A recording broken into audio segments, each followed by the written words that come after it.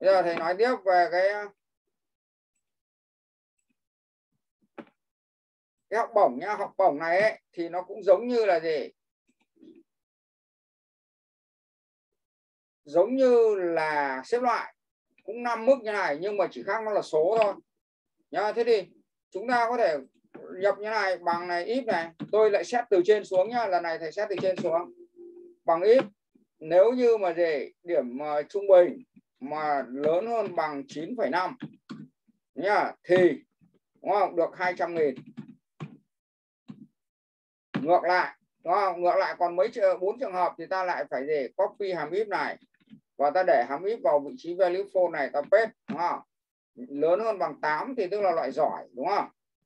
Đấy thì được 100 nghìn ta sửa luôn nhá nhá tiếp tục.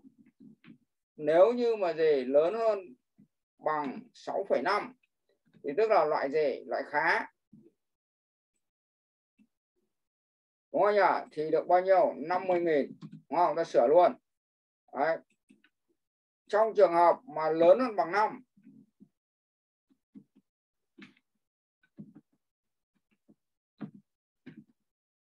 thì được bao nhiêu? không nghìn. Đúng không?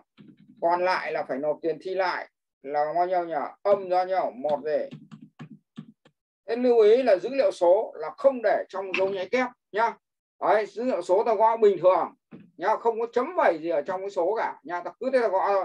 Trừ nó có phần lẻ phần ấy các cái nhưng mà thông thường trong cái bài toán của em ấy nếu như nó có phần lẻ thì mình gõ đúng cái dấu ngăn cách giữa dấu phần nguyên và phần thập phần còn lại không có gõ dấu gì ngăn cách theo nhóm nhá.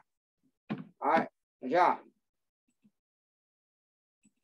Đấy học bổng đấy. Thế bây giờ chúng ta sang tiếp đến điều kiện học bổng A. điều kiện học bổng A.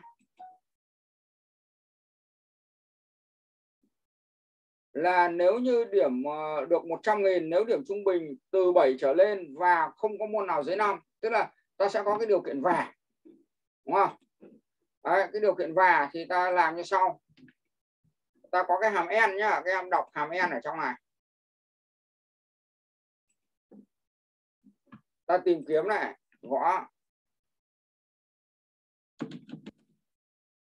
Hàm n khoảng ngoặc nha, Đấy, chúng ta sẽ thấy ngay hàm n hàm n này ấy, là đối số của nó là có tối đa là 255 đối số. Mỗi đối số là một giá trị logic. Hàm trả về chu nếu tất cả đối số là chu ngược lại phone. Nhá còn hàm trả về ờ, ngược lại phone nhá thế tương tự như vậy ta có hàm o thì nói luôn ví dụ hàm no ở đây. Nhá tôi có ờ, bằng này. 5 lớn hơn 3 đây là đúng rồi đúng không? Bằng 7 lớn hơn 4 lớn hơn 2 à, là đúng rồi. Bằng 9 lớn hơn 5 là đúng rồi. Giờ và ta sử dụng hàm n này. Hàm n này tôi chèn cả ba đối số vào. Đấy, ta thấy nó có kết quả bằng chu. Nhớ ta sao treo nó xuống. Đây, thế trường hợp nhất mà nó có một hạn tôi cho là nhỏ 3 thì nó là phone thì kết quả là phone này trường hợp thứ hai là có hai đối số bằng phôn kết quả bằng phôn này trường hợp thứ ba có ba đối số bằng phôn tất cả ba đối số đều bằng phôn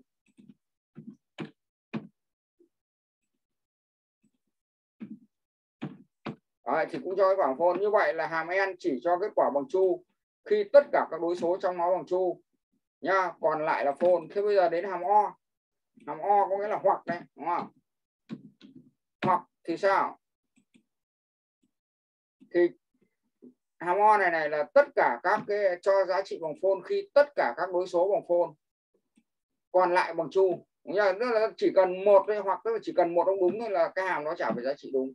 Nhá thế thì ta sẽ dùng hạ điều kiện học bổng như sau này, bằng này ít này mở ngoặc đóng ngoặc này. Ta gõ hàm n nhá, giả sử điều kiện xét của tôi là đúng đúng nhá.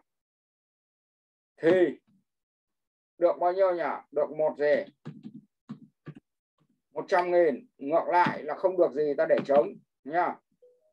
Enter một lần, enter hai lần. Thế thì n là gì? N là thứ nhất là điểm trung bình của ta là phải lớn hơn bằng mấy bằng 7 cái thứ hai là điểm toán phải lớn hơn mấy? Bằng 5 thứ ba là điểm tin cũng phải lớn hơn bằng gì không có môn nào dưới 5 mà. Bằng 5 nha Đấy thì chúng ta sẽ có ba người được học bổng.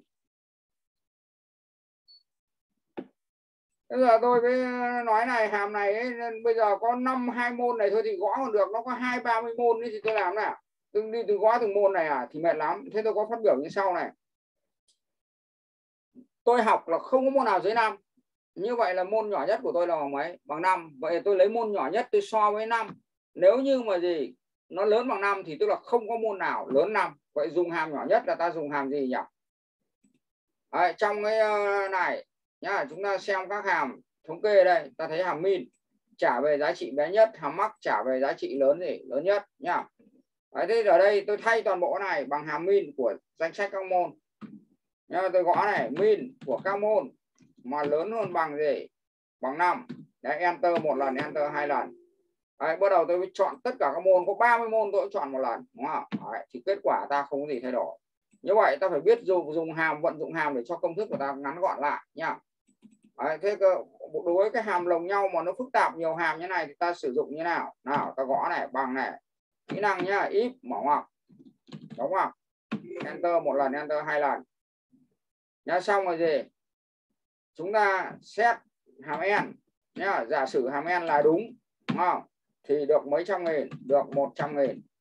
Đấy, còn lại để chống. Enter một lần hai lần. Bây giờ hàm n ấy là điểm trung bình. Điều kiện của nó là điểm trung bình lớn hơn bằng mấy? Bằng 7 và không có môn nào dưới 5 tức là điểm gì? Min. Mở ngoặc đóng ngoặc luôn. Cái đối số bên trong ta giải quyết sau nhá. Ta gõ luôn lớn hơn bằng mấy? Bằng 5 enter một lần hai lần. Đấy, sau khi con trỏ vào trong cái đứng vào giữa cặp ngoặc của hàm min nhá ta chọn tất cả các môn. Đấy, đấy là kỹ năng nhập hàm. Thế còn cái bài điều kiện học bổng B này như thế nào? Điều kiện học bổng B đây. Xếp thứ từ 1 đến 3 thì được 100 nghìn. Xếp thứ từ 1 đến 3 có nghĩa là xếp thứ của nó nhỏ hơn mấy? Nhỏ hơn 4 đúng không? Hoặc là nhỏ hơn bằng 3 còn xếp thứ từ 4 đến 6 có nghĩa là gì? Nhọn 7 ờ, hoặc là nhọn bằng 6 đấy. Thế ta đưa về bài toán là có mấy lựa chọn nhỉ? Có ba lựa chọn thôi đúng chưa? Nhá. Thế còn sắp xếp các cái thôi thì các em ờ, về các em tự đọc phần sắp xếp nhá các em làm. Bây giờ thầy nói về định dạng trang in nhá. Định dạng trang in này là nó cũng giống như gì? Giống như ở trong ờ, uh, uất nhá. Chúng ta để định dạng trang in này ta vào quay layout này chọn quay setup này nha thôi ờ, cái cái định dạng trang in này thầy ờ, ấy sao để, để ngắt